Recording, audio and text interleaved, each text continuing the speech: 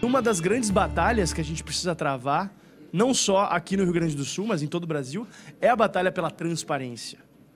Na União, uh, o orçamento já é apresentado de maneira mais transparente do que aqui no Rio Grande do Sul, pois lá já se especifica certas isenções e benefícios fiscais. Por exemplo, as, uh, uh,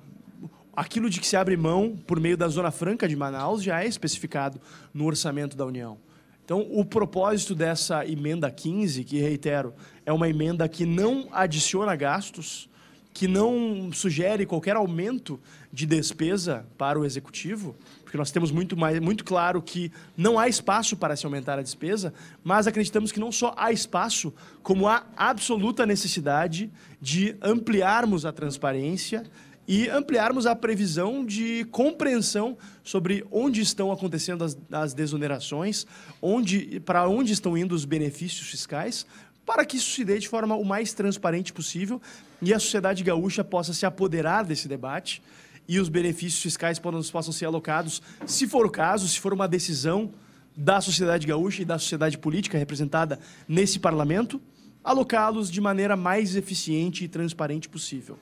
Acredito que a transparência não é um favor que essa casa presta